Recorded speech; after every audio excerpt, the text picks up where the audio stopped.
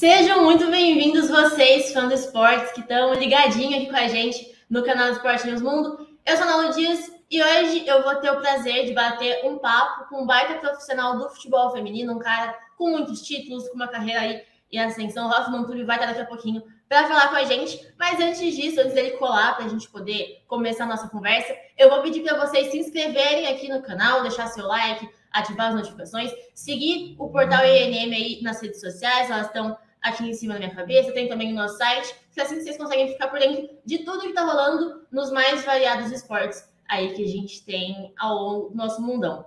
Então, eu vou pedir a produção, se possível, trazer o Hoffman para falar com a gente. Hoffman, muito obrigada por topar falar com a gente, bater esse papo, para a gente poder falar um pouquinho do futebol feminino. É sempre um prazer ter vocês aqui com a gente. Prazer é todo meu, Nalu. Prazer falar com você, falar de futebol feminino. É sempre um prazer imenso. E agradecer o espaço, né? É, não é um espaço apenas para o Hoffman, mas para o futebol feminino, né? Que precisa tanto de ser visto, ser falado. Então, te agradeço aí. Vamos bater esse papo legal.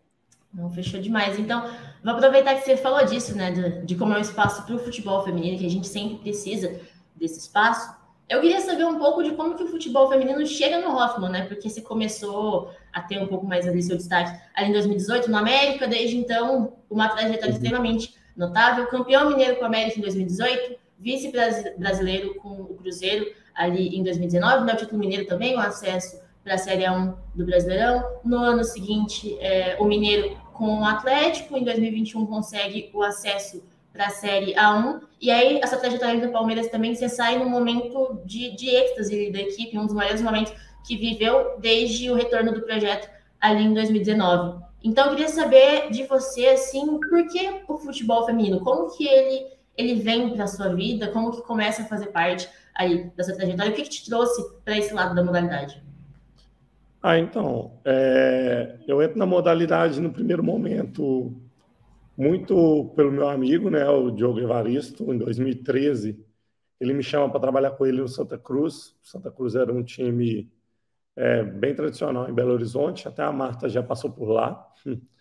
E jogava né, é, os torneios, é, tanto é, estadual quanto nacional. Santa Cruz já representou Minas Gerais algumas vezes. E eu fui trabalhar com ele em 2013 e lá a Bárbara Fonseca era nossa atleta, hoje é diretora do Cruzeiro, então trabalhei com ela. E cinco anos depois, o futebol feminino reaparece na minha vida, né? Convite da Bárbara para assumir o América. Então, assumo o América ali no dia 1 de outubro de 2018. E aí começa essa minha carreira aí, América, Cruzeiro, Atlético e Palmeiras e Fluminense. Então, é, o, o, o, futebol feminino me chamou, né? Assim, foi me levando, assim.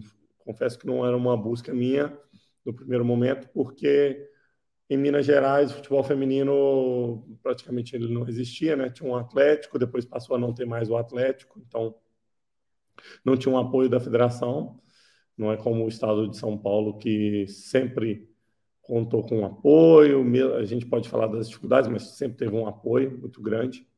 Então, eu fui entrando assim, 2013 com a oportunidade de ir para Santa Cruz e 18, através dessa oportunidade de Santa Cruz de conhecer a Bárbara, eu fui para o América e aí começa realmente uma carreira que aí é só futebol feminino.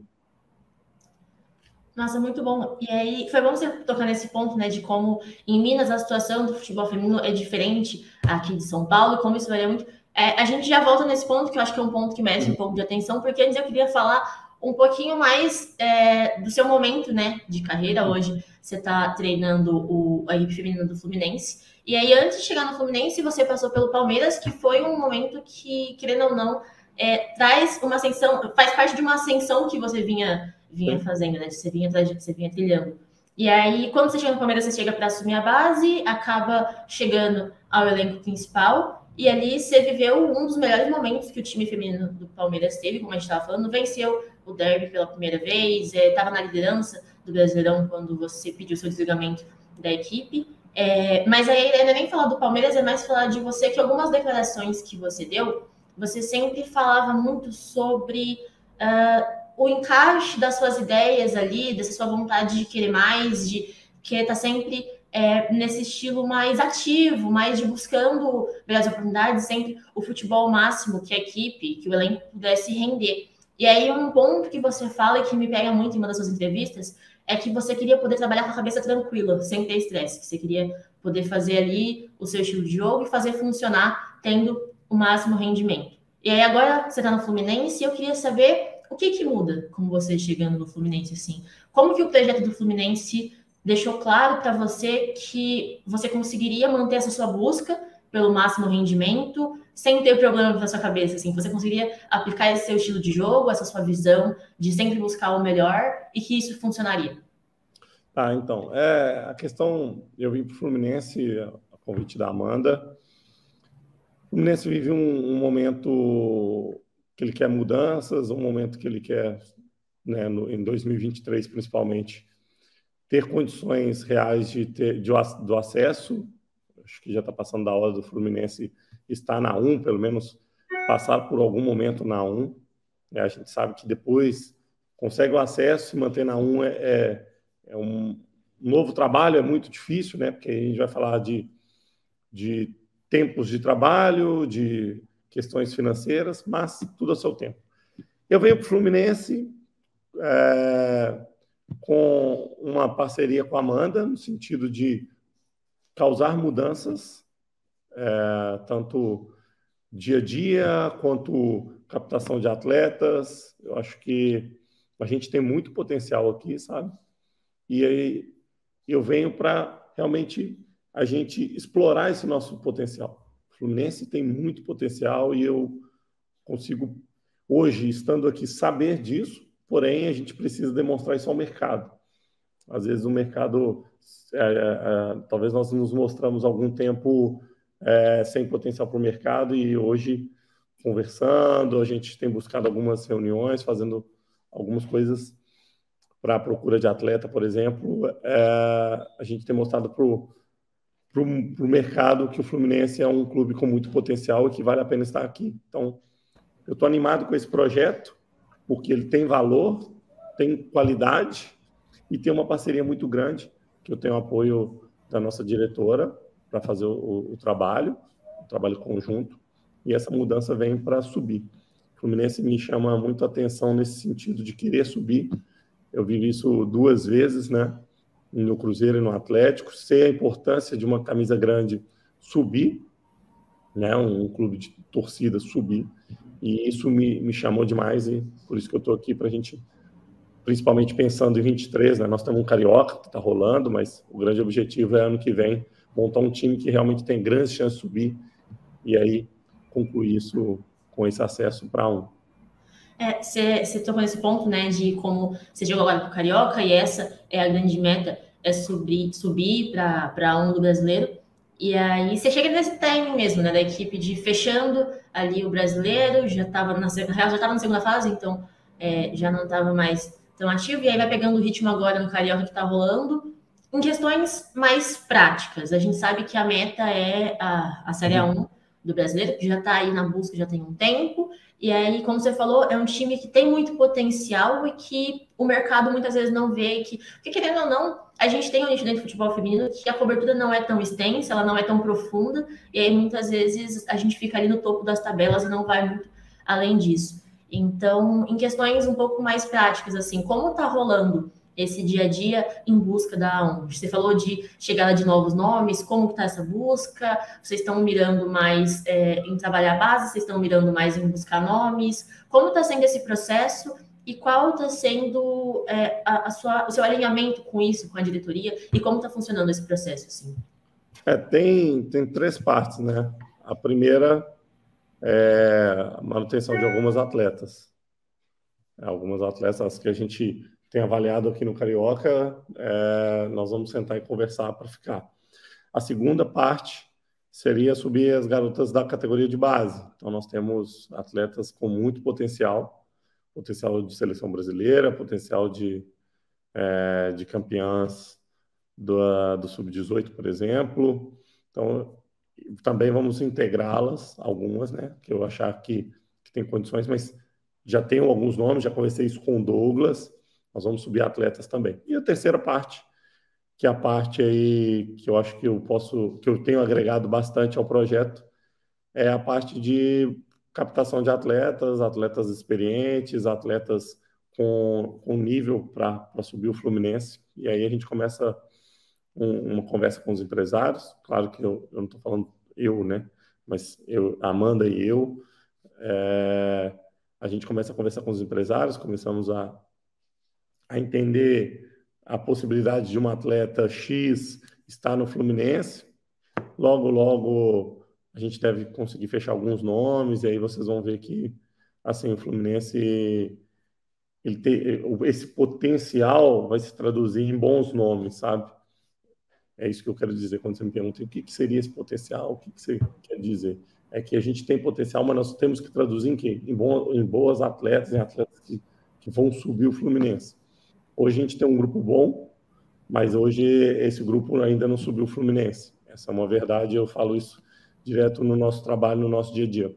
A gente precisa de algumas peças que ajude a gente a subir de nível e subir de nível, subir o Fluminense. Então, o meu contato diário com empresários é que eles entendam o projeto do Fluminense, entendam a grandeza do Fluminense, entendam o nosso desejo de subir o Fluminense e que ele acredite no, no meu trabalho, no trabalho da diretoria e que eles coloquem atletas aqui e a gente suba.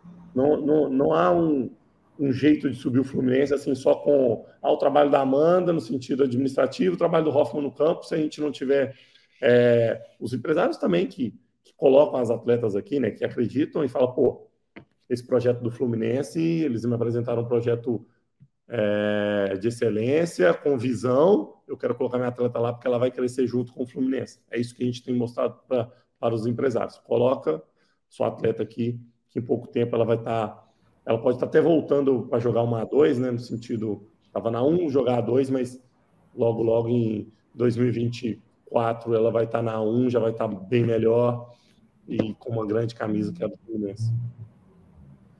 Massa, você falando isso da grande, de uma grande camisa que é o Fluminense, né? Ele tinha falado há pouco também de são times grandes, são times que têm uma torcida.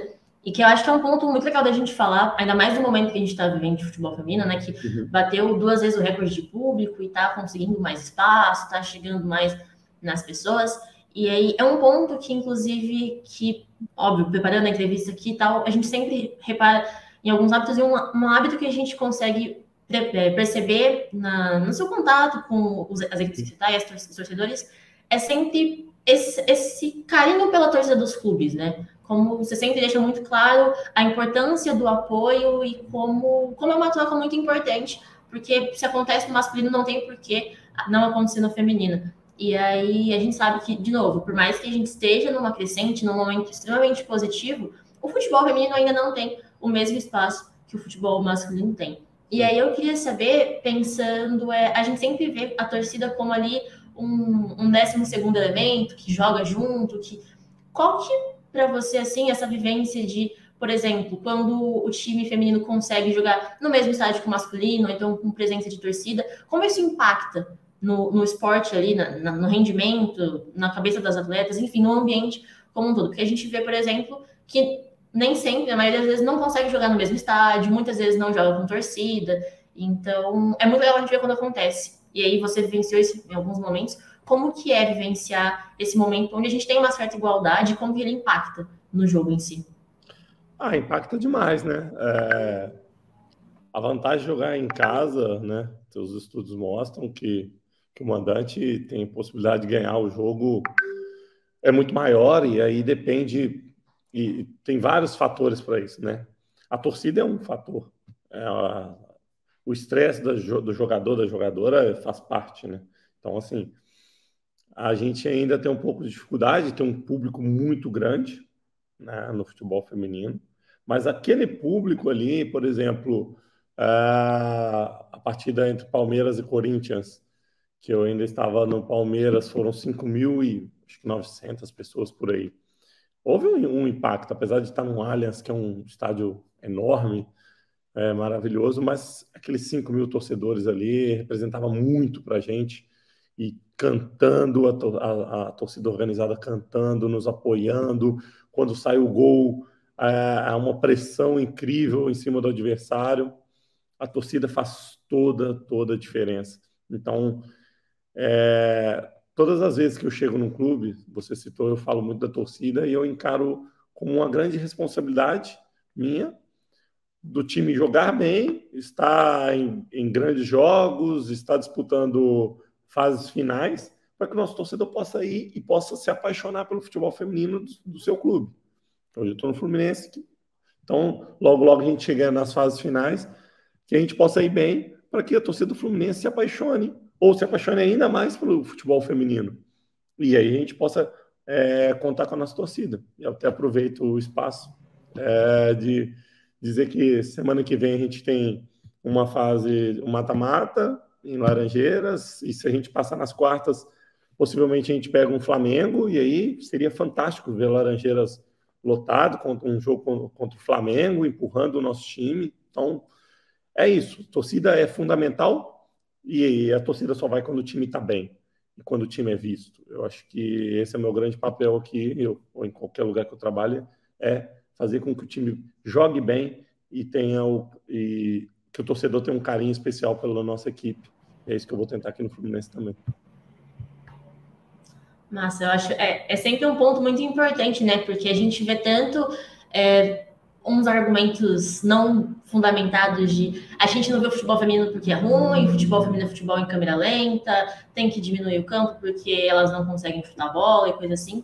Então, eu acho que ver essa mudança, nessa virada de chave, é sempre muito positiva, no sentido de se tem público, se tem gente vendo, é porque tem algo a ser visto, e que bom que está sendo cada é. vez mais visto. Que bom que estão cada vez mais avançando. Claro, é o seguinte, o, a, o futebol feminino, ele está, vamos chamar assim, em desenvolvimento. Exato. É, eu fui na, na Associação Brasileira de Treinadores de Futebol aqui no Rio, e eu e as pessoas acham assim. Eu falei para eles, falei, cara, é, transferem para o futebol feminino. A gente precisa de vocês com experiência de trazer também o, a, a vivência de futebol. E, e eu falo tá em desenvolvimento porque quanto mais treinadores, treinadoras a gente tem, mais esse jogo evolui, sabe? É, é, falar assim, ah, o futebol feminino é ruim porque a natureza é ruim. Não ele está em desenvolvimento e ele, claro, claro, é visível, ele ainda não está no seu melhor. Por quê? Porque nós precisamos de mais apoio, mais treinamento, é, mais incentivo, investimento, treinamento, treinadores, treinadoras, comissões técnicas. É visível como as seleções, por exemplo, é, você vê a Inglaterra jogando um nível muito bom de futebol, mas é o dia a dia, é trabalho, né? Não, as coisas. É, é o que a gente rebate, que pegando a sua fala, a gente rebate dizer que a natureza do jogo feminino é ruim. Não, isso não existe. Não existe. Tecnicamente, a mulher é capaz de fazer o que um homem faz. Tecnicamente, com certeza. É, eu tenho um episódio, por exemplo, Micaele no Cruzeiro, ela dominava bolas incríveis. E o povo na toca 1 ficava assim, oh, ela domina a bola. Eu falei, claro, ela é ser humano. Ela vai, não vai ter uma força de um Roberto Carlos. E nem esperamos isso, mas tecnicamente não se discute. Então, assim, o jogo feminino, ele está em desenvolvimento, ponto. E vai se desenvolver mais. Daqui a 20 anos, tomara que um dia você me entreviste daqui a 20 anos, nós vamos falar de um super jogo, um super clássico. Só a última coisinha. A Pia fez um comentário no, no, no clássico Palmeiras e Corinthians, no, no Allianz, é, o que eu estava, né? É, que foi o jogo mais intenso que ela viu no Brasil desse, em todo esse tempo que ela estava. Né? Então, assim, é, isso é bom, quer dizer que estamos evoluindo, né?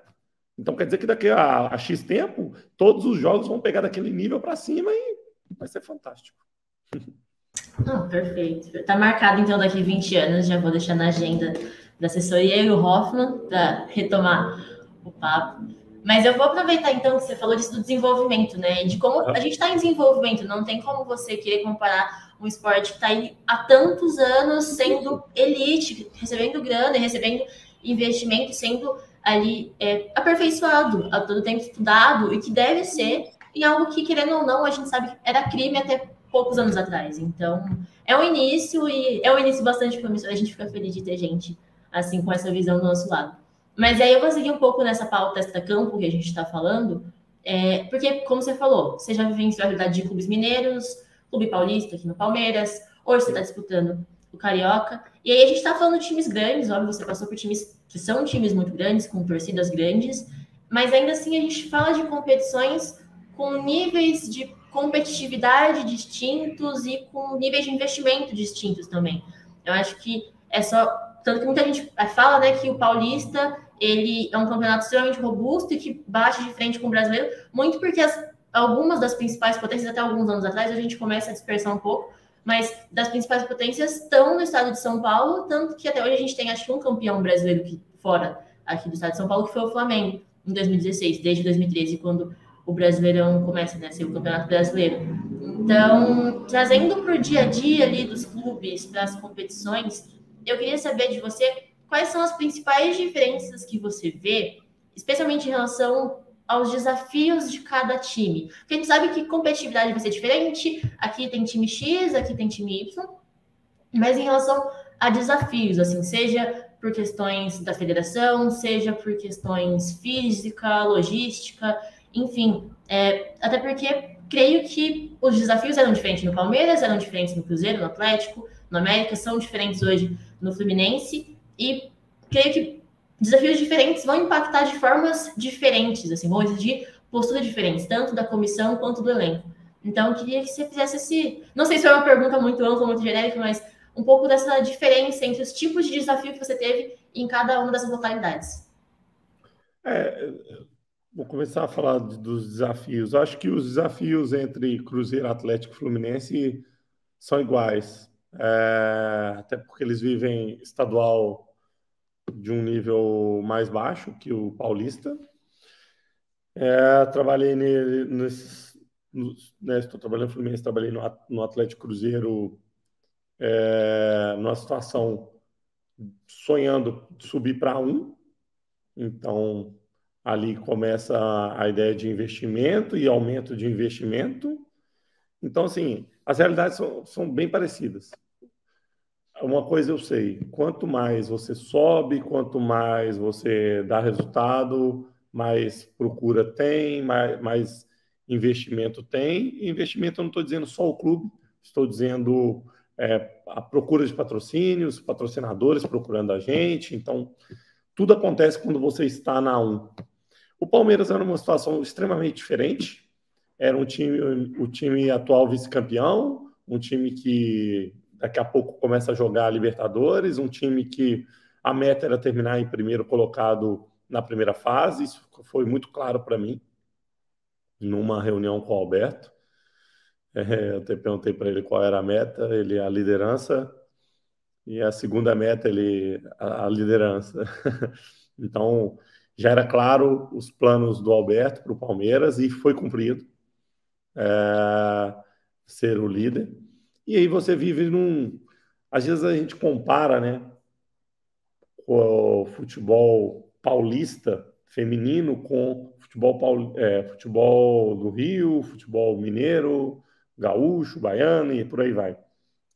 Mas é porque a gente faz o olhar muito do feminino, mas se você olhar também para pegar um olhar para o masculino, São Paulo não, não tem igual. Não tem igual. É, é, o campeonato mais forte do Brasil. E isso ninguém vai igualar. E não adianta, não tem como igualar. É, ver o quanto os times do Baiano ganham para jogar o Campeonato Baiano, quanto os times mineiros ganham para jogar o Campeonato Mineiro. E veja quanto um time pequeno do Paulista ganha. Entendeu? Faz muita diferença. Então, assim, a gente tem que entender que eu fico pensando é fazer o projeto. Que a CBF deveria ajudar era fazer um projeto, Campeonato Brasileiro, um pouco maior, para que camisas grandes, como Fluminense, como Botafogo, América Mineiro, como Vasco, que agora caiu para três, pudesse ter a oportunidade de entrar na 1. Entrando na 1, eu vejo que isso facilitaria a busca por patrocínios, porque você teria uma, uma televisão aberta, você teria canal fechado transmitindo. E a A2 ela é vista pela própria CBF, falo isso porque falaram para mim, ela é vista como uma competição amadora. Então, como que você vai buscar algum recurso? Como que você faz isso? Só colocam a culpa no clube e quem detém o direito de fazer os campeonatos e nos ajudar, às vezes peca nisso. Eu vejo que a nossa batalha aqui é chegar na 1 e quando chegar na 1 o Fluminense vai crescer ainda mais o seu projeto temos grandes coisas aqui, mas vai crescer ainda mais quando se chega na 1, o que é normal. Mas, se a gente tivesse um campeonato maior, talvez não precisava ficar nesse desespero, numa camisa tão grande como o Fluminense. É, cresceria ainda mais o projeto, teria mais empregos, teria mais valores. Acho que tem que ser repensado assim. Essas são as, são as diferenças. Palmeiras já está no nível muito forte e já, já está num estado totalmente diferente. Cruzeiro, Fluminense e Atlético vivem, viviam, vivem e viviam a realidade de subir para chegar a níveis financeiros melhores do que se encontravam naquela época. É muito, é muito bom ver você falando, porque tem uma visão muito clara, né, de como é, justamente por ter vivenciado esses dois lados, essas duas realidades, então, de saber quais são os problemas e de, de trazer exatamente, né, quais são as é. questões em São Paulo, você vai conseguir. São Paulo é um estado mágico, vamos dizer assim. É um estado que vai conseguir gerar dinheiro, você consegue ter uma ferroviária com muito potencial. As pessoas acham que o, o Palmeiras é o grande rival do, do Corinthians feminino, tá? Nós estamos falando de futebol feminino. Mas a, a Ferroviária gasta muito dinheiro. A Ferroviária tem um grande time. A Ferroviária tem um grande investimento. Você tem o São Paulo, você tem o Santos. O Santos tem condição de ter Taizinha e Cristiane. Né? É, é, é, diferente. Então, é um Estado que, que respira dinheiro, respira negócios. Então, e ele consegue mover, consegue ter o, o Taubaté lá com o Arismar trabalhando, subindo para dois, consegue ter é, a, a, primeira SAF aí, né, Brasil, Red Bull, chegando, tudo bem, caiu, mas vai ser forte ano que vem, tá forte no Paulistão com a, com a Rosana. Então, é, o Estado é muito bom, o Estado é muito bom. Que a gente vê assim, dá para tentar melhorar, dá, mas vai ser muito difícil, porque nem no masculino, o futebol mineiro tem três times, os outros ficam ali, sobe, desce, é tão bem assim que tá bem, mas já foi o Boa, por exemplo é, é muito difícil. O que eu vejo é que a gente tinha que fortalecer o campeonato brasileiro, fazer com que camisas. É, vamos lá. Atlético Paranaense subiu, Ceará subiu. Eu acho que o Fortaleza vive um grande projeto hoje. O clube está né, tá estruturado, Fortaleza. Clube Fortaleza. Se ele sobe para um, eu tenho certeza que ele vai buscar mais patrocínio, ele vai fazer mais coisas. Porque ele consegue explicar. Hoje, um time de A2 joga seis jogos e acabou. Como é que você vai vender? Qual produto que você vai vender jogando seis jogos no ano? É, você tem o Fluminense, você tem o Botafogo, você tem o Vasco, você tem o América Mineiro. Eu falei sete times. Sete. Coloque isso na um. Não cabe. Entendeu? Não cabe. Então, eu acho que pensar nessa mudança seria importante até para que as marcas buscassem é, mais condições de trabalho, de, de, de, de mais recursos o Palmeiras conseguiu o seu seu patrocínio né, de futebol feminino, estando ali, vice-campeão brasileiro, é, semifinal, indo para Libertadores, só assim. Ah, mas o Hoffman, os outros é, tem que fazer a mesma coisa que o Palmeiras, subir. Claro, todo mundo quer subir, mas com um campeonato de 16 clubes, alguém que de camisa forte, de muita torcida, vai ficar fora. Eu acho isso um desperdício hoje para o futebol feminino. Muito bom, não, muito, muito bom. É, vou tirar um pouco o foco do macro, né, do, do futebol feminino como todo, porque a gente também está entrevistando o Hoffman, a gente não está entrevistando só sobre futebol feminino, queria saber um pouquinho mais é, sobre você, no sentido de um ponto de destaque nas equipes que você treina, no seu trabalho como um todo, assim, a gente consegue ver falando com você, é essa postura ofensiva no sentido de estar tá sempre buscando o melhor. Eu falei isso muitas vezes, mas porque é uma postura muito clara sua, assim, de estar tá sempre buscando o máximo desempenho, é, dentro e fora das quatro linhas, assim. E aí, tanto na sua trajetória, né, é, que é relativamente curta aí, mas olha o tanto de título que você tem é extremamente vitorioso. Então a gente vê que é muito isso de eu quero, eu tenho a meta, eu quero aquilo e eu vou atrás disso. De onde que vem essa mentalidade assim? Quais são suas referências, tanto no futebol, fora, enfim, o que, que te leva a ser esse Hoffman com essa sede por eu quero mais no sentido de vamos fazer o melhor? Não sei. é, eu, eu, eu, eu nunca fui o melhor aluno na escola, péssimo aluno. Nunca fui o melhor aluno da faculdade, quase que o Varley Teodo Costa me dá bomba em futebol.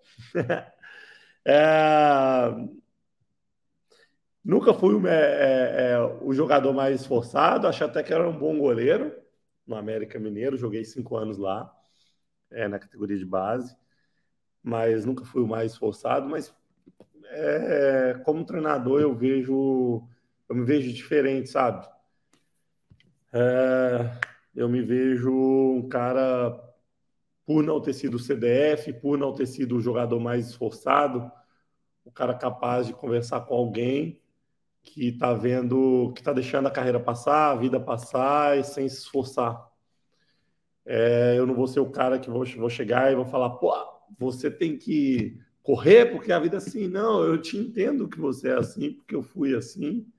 É, grande parte da minha vida até eu me encontrar como treinador. Então, eu acho que essa é a minha, a minha obsessão por, pelas atletas, o desenvolvimento. Eu sei que não é bem visto por algumas atletas, no desenvolvimento físico, no desenvolvimento técnico-tático, em pensar um jogo. Acho que essa, essa obsessão vem por justamente ter sido o cara do, do inverso é meio esquisito falar isso, mas eu sou o cara do inverso. É, é, é como se agora eu me encontrasse agora eu quero fazer uma coisa muito diferente, uma coisa que eu me identifico. Então eu sempre falo nos times que, que eu passo, tem uma frase, eu vou expor essa frase, que é: pô, nosso time pode ser ruim, mas tem que correr mais que todo mundo. Essa é a primeira regra nossa. A gente tem que correr mais que todo mundo. É, e correr correr de forma individual, coletiva e, e, e você só vai correr mais que todo mundo se você aprender a se esforçar. E você só vai aprender a se esforçar se todos os dias você criar o hábito de esforço. Então, eu, como treinador, eu prezo muito por isso. Sei que vai ter atletas que não gostam, mas o que foi a, minoria da minha vida, tanto masculino, né, com meninos que eu trabalhei, é, quanto no feminino. A minoria é que não gosta disso. O atleta de futebol gosta que você seja justo, seja honesto e que você seja exemplo. E aí eu tento eu fazer isso com eles. Eu sou exemplo todos os dias dessa obsessão, e aí quem trabalha acaba sentindo essa obsessão por de esforço, de vontade, de se entregar, e aí as coisas vão acontecendo assim. Eu acho que eu, eu sou assim por tudo aquilo que eu não fui quando aluno e quando, quando eu era atleta. Nossa, muito bom. Ô, Hoffman, então, a gente já está estourando um pouquinho aqui o nosso tempo. É, vou encaminhar. Que isso, se juntar nós dois aqui é mais como da cobra, não, não tem nem jeito. É, vou encaminhar então para a última pergunta, que é seguir, fechar, falando um pouquinho do Hoffman mesmo, né? Como você falou, isso de que nunca foi o melhor aluno, nunca estava ali no topo, mas que isso te fez ver a vida de uma forma um pouco diferente. É, tem alguma meta ainda para o Hoffman profissionalmente, ou pessoalmente também, se quiser falar, que ainda não bateu? Tem aquela atleta que você ainda queria treinar ela, ou então um título, você quer levar o Fluminense para Libertadores, sonha um dia treinar a seleção? Tem alguma coisa que ainda tá aí que você tem vontade? Ah, então, é, acho que a meta vai ser sempre a de hoje, né? Assim, estou doido aí para ganhar um, um, Carioca, né? É, desse ano, se possível. Mas claro que subir o Fluminense é uma grande meta. Eu, eu acho que assim, eu sou um cara, eu me sinto muito realizado, sabe? Apesar de não ter tantos títulos quanto o Arthur, é, de ter perdido duas finais de brasileiro, uma de forma invicta, né, ano passado. Eu me sinto de verdade muito realizado, então não, eu não fico sonhando com coisas que faltam, tal. Uma vez eu já disse sobre seleção brasileira, mas confesso que a cada dia que passa esse sonho de seleção brasileira não tem me pegado, porque trabalhar na seleção brasileira eu acho que é muito difícil. E não é ser treinador, é ser realmente um quase um entregador de camisa em alguns momentos, exceto em Copa do Mundo e Copa América que você treina. Agora, amistosa, a pessoa chega no sábado, você já joga na, na. A pessoa chega na segunda, você joga na sexta, você joga na terça e a pessoa vai embora. Isso não é treinador. E aí eu não, não tenho tanto esse sonho agora, não. Meu sonho hoje é, é, é mais aqui, Fluminense, subir o Fluminense e viver. Me sinto bem realizado, de verdade. Acho que cada dia que passa, a gente vai ficando mais velho e vai tendo uma paz de espírito que vai chegando e, e eu acabo, eu estou me sentindo muito bem com essa, com essa, essa paz de espírito. Olha, eu falando com o microfone fechado mais uma vez. Hoffman, tá certo. Então, olha, muito, muito obrigada por ter topado falar com a gente aqui. Um prazerzão trocar ideia com você. Como eu estava falando antes, é sempre muito bom trazer gente do futebol feminino, dar espaço, dar voz da modalidade. Eu acho que nunca vai ser demais e falar com um baita técnico como você, com uma carreira aí, que, de novo, por mais que esteja relativamente curta, mas está numa baita ascensão, é muito legal entender um pouco mais da sua mentalidade, como você enxerga a modalidade. Fico feliz de verdade de ter você aqui hoje. E é isso, deixar o espaço, se você quiser agradecer, mandar um abraço, convocar a torcida, fique à vontade, espaço é seu. Não, quero te agradecer pelo espaço né, do programa aí, de, da entrevista. É, dizer que futebol feminino cresce, é uma realidade e não tem volta. Para aqueles que não gostariam, não tem volta. E assim, ia pedir hoje para o nosso torcedor que compareça aos jogos, somente aí, é, de final agora com, é, no sábado que vem, depois se a gente passar, se Deus quiser, vamos passar a pegar um Flamengo. Seria fantástico ver Laranjeiras lotado ali, apoiando a gente no, no Fla-Flu, seria uma coisa extraordinária. Eu espero que isso possa acontecer e dizer ao torcedor do Fluminense que acredita no nosso projeto, que ano que vem a gente vai dar muitas e muitas alegrias. Então é isso, muito obrigada, Hoffman, por ter colado aqui. Produção, acho que a gente pode, então, para os recados finais. Agradecer mais uma vez você que colocou a gente aqui para ver mais um vídeo, mais uma entrevista aqui no canal do Esporte News Mundo. A gente tem aqui ó, as nossas redes sociais, a gente está no Twitter, no Facebook, no Instagram, com o portal ENM. Você também pode olhar e conferir lá o nosso site, o esportenewsmundo.com.br. Tem cobertura de vôlei, tem cobertura de esportes americanos, de futebol europeu, futebol brasileiro de seleção. Enfim, tem esporte para todo mundo lá. E eu vou me despedindo, agradecendo demais para quem compartilha aqui com a gente esse espaço, para quem curte, para quem sempre está presente e reforçar que o futebol feminino é uma pauta em ascensão, que a gente está nesse corre faz muito tempo. É muito bom ver ele dando os frutos e que enquanto a gente puder, a gente está aqui para fortalecer a modalidade, certo? Muito obrigada a todo mundo, um abraço e até a próxima.